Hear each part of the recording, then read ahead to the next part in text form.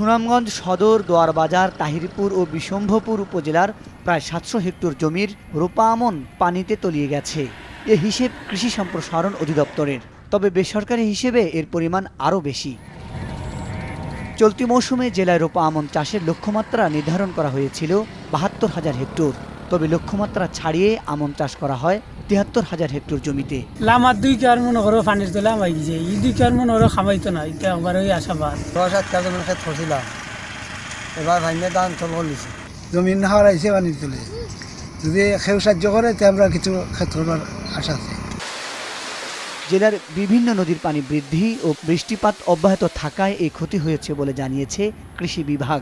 তবে বৃষ্টি আর না হলে এই ক্ষতি কাটিয়ে ওঠা সম্ভব বলেও জানান কৃষি কর্মকর্তা।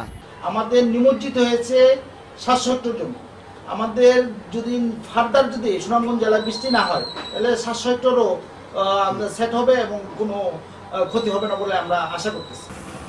এদিকে নওগাঁর রানীনগর উপজেলায় এবার আমন ধানের চাষ হয়েছে পনেরো হাজার চারশো পঞ্চাশ হেক্টর জমিতে। তবে পাতা পড়া রোগে জমির ধান মরে যাচ্ছে। কৃষি পরামর্শ নিয়েছি এগুলো ওষুধ ব্যবহার করছি। ব্যবহার করার পরও আমাদের ধানের কোয়ালিটি এরকম হয়ে আছে।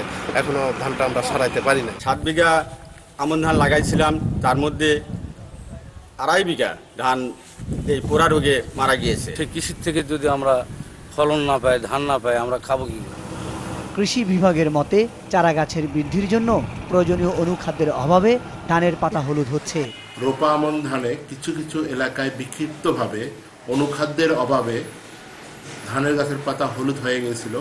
কিন্তু কৃষি বিভাগের সার্বক্ষণিক পরামর্শের কারণে এবং কৃষকরা সেই পরামর্শ অনুযায়ী স্প্রে দেওয়ার কারণে সে সমস্ত ধান গাছ আবার স্বাভাবিক অবস্থায় ফিরে আসছে। আক্রান্ত ধান জাতের মধ্যে স্বর্ণা, বিয়ার উনপঞ্চাশ এবং কাটারি ভোগেই বেশি। Mujahid Sakib, Maasranga news desk.